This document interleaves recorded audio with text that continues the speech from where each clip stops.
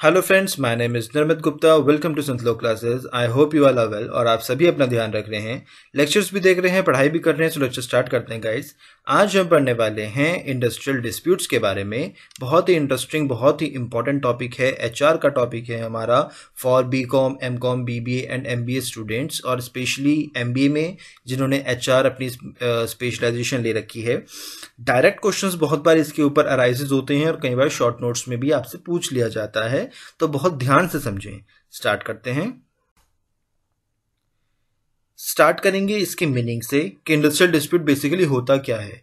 It is defined as the conflict और the disagreement between the management and the employee ये कहा गया क्या एक तरह का कॉन्फ्लिक्ट या एक तरह का डिस एग्रीमेंट किन के बीच में? मैनेजमेंट और हमारे एम्प्लॉयज़ के बीच में। ठीक? It is a process in which ये एक ऐसा प्रोसेस है जिसमें क्या होता है?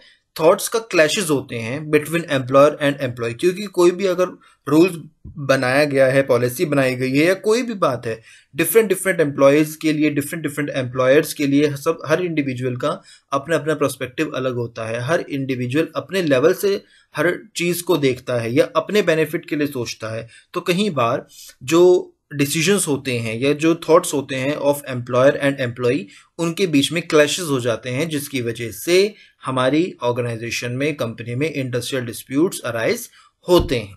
ठीक है? अब हम बात करेंगे अबाउट सम कॉजेज कि किन की वजह से कौन से ऐसे फैक्टर्स हैं जिनकी वजह से इंडस्ट्रियल डिस्प्यूट्स होते हैं। Like dispute relating to minimum wages के जो मिनिमम वेजेस हैं, वो नहीं मिल रही। सैलरी एंड इंसेंटिव्स इशू जो हमारे एम्प्लॉयज़ हैं, जो हमारे वर्कर्स हैं, उनको प्रॉपर सैलरी नहीं मिल रही। प्रॉपर इंसेंटिव्स जो उनको मिलने चाहिए, वो नहीं मिल रहे। Increment is not up to the performance उनको पता एम्प्लॉयज़ ने सोचा था, इस बार तो हमारा इंक्रीमेंट बहुत अच्छा होगा, क्योंकि हमने टारगेट्स पूरे अच्छे से अचीव करे हैं वेस्टेज कम करी है, अच्छी प्रोडक्टिविटी हुई है ऑर्गेनाइजेशन के प्रॉफिट इंक्रीज हुई हैं, लेकिन उनको जो इंक्रीमेंट हुआ है, वो उतना अच्छा नहीं मिला। Dissatisfaction with the policies of the company के, जो कंपनी की पॉलिसीज़ हैं एम्प्लॉयज़ उनसे सेटिस्फाइड नहीं है, ठीक है? या आप आप कह सकते हैं कि जो उनकी जो भी पॉलिसीज़ हैं, वे बहुत ज़्यादा रिजिड हैं, ठीक है? उसकी वजह से भी बहुत बार इंडस्ट्रियल डिस्प्यूट्स होता है, या फिर hours of work and interval timings holiday and leave with pay bonus provident fund and gratuity इनकी वजह से भी ये भी कुछ ऐसे फैक्टर्स हैं जिनकी वजह से इंडस्ट्रियल डिस्प्यूट किसी ऑर्गेनाइजेशन में होता है।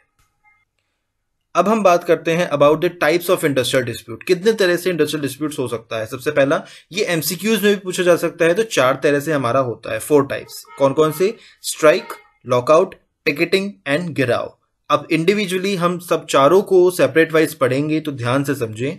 ये आपसे डायरेक्ट पूरा क्वेश्चन अगर दस नंबर में आ गया तो आप पूरा बताएँगे कि मीनिंग फिर उसके कॉजेज एंड देन टाइप्स के बारे में, या डायरेक्ट आपसे टाइप्स भी पूछे जा सकते हैं तो ध्यान से समझें। सबसे पहले हम देखते हैं कि स्ट्राइक्स बेसिकली होती क्या है। It is a spontaneous and concentrated withdrawal of labour from production temporarily It is a collective stoppage of work by a group of workers for pursuing their employer to accept certain demand. Strikes एक बहुत general word है, बहुत common सा word है जो हम daily life में भी बहुत बार सुनते हैं कि जब हमारे जो वर्कर्स हैं, जो हमारे लेबर्स हैं, वो टेम्परेरीली अपनी जो प्रोडक्शन है, अपना जो काम है, जो डेली एक्टिविटीज़ है, जब उनसे हट जाते हैं, वो काम नहीं करते। ठीक है? क्या होता है? Collectively stoppage of work by group of workers जब कलेक्टिवली सारे जितने भी ग्रुप ऑफ़ वर्कर्स हैं, वे काम करना बंद कर देते हैं परसुएड करते हैं, ठीक है? मजबूर करते हैं जो भी उनके एम्प्लॉयर्स हैं हायर अथॉरिटीज़ हैं, कि वे उनकी जो डिमांड है सर्टन डिमांड है, उनको एक्सेप्ट करें और उनको फुलफिल करें। अब कुछ टाइप्स ऑफ़ स्ट्राइक्स होती हैं कौन कौन सी? सबसे पहली सिंपेथेटिक स्ट्राइक जो कि show sympathy with with workers in other industries कि अगर किसी और इंडस्ट्री में स्ट्राइक uh, चल रही थी तो हमने उनको सपोर्ट करने के लिए हमने स्ट्राइक करी है। सिंपैथी शो करने के लिए बेसिकली तो वो होती है सिंपेथेटिक स्ट्राइक सेकंड होती है अनऑफिशियल स्ट्राइक यानी कि strike undertaken without the consent of the union जब हमने अपनी यूनियन के कंसेंट के बगैर विदाउट एनी प्रायर नोटिस जब हम स्ट्राइक पर बैठ जाएँ तो वो अनऑफिशियल स्ट्राइक कही जाती है। नेक्स्ट होती है sit down strike workers cease to perform their duties but do not leave the place to work यानी कि जब वर्कर्स काम के लिए आते हैं पर काम नहीं करते सिट डाउन बैठ जाते हैं। ठीक? इसको जनरली सेकंड इसको हम पेन डाउन स्ट्राइक भी कहा जाता है, जब अपने पेन रख दिए उन्होंने। अब वे कुछ काम नहीं कर रहे। ठीक? लाइटनिंग स्ट्राइक यानी कि out of provocation workers may go on strike without notice और एट वेरी शॉर्ट नोटिस यानी कि जब वर्कर्स बिना किसी नोटिस के या बहुत ही शॉर्ट नोटिस के, है ना? जब स्ट्राइक पर बैठ जाए तो उसको कहा जाता है lightning strike hunger strike to gain sympathy from the public and got and get noticed by the employer यानी कि जब सोसाइटी से, है ना, या पब्लिक से सिंपथी गेन करनी हो और चाहते हूँ कि जो भी हमारे एम्प्लॉयर्स हैं, वे हमें नोटिस करें, हमारी बात को सुने, हमारी जो डिमांड है उसे फुलफिल करें workers may decide to forgo food for a special period किसी एक स्पेशल टाइम पीरियड के लिए जब वे अपना खाना पीना छोड़ देते हैं, जिसको हम जनरली हड़ताल, है ना, अनशन पे बैठ जाना, ये सब कहते हैं। तो वो हमारी हंगर स्ट्राइक होती है।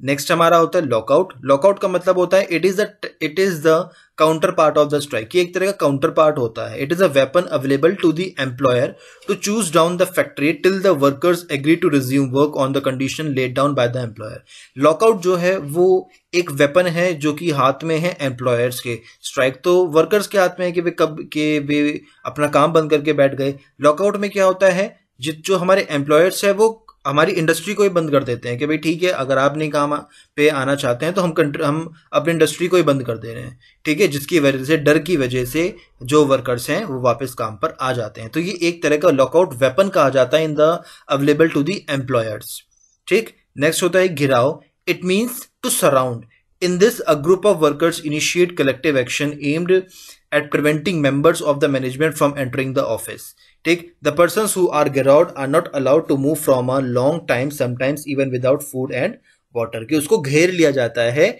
कि आप जहाँ हैं, आप वही रहेंगे, बस। Sometimes even without food and water ठीक है?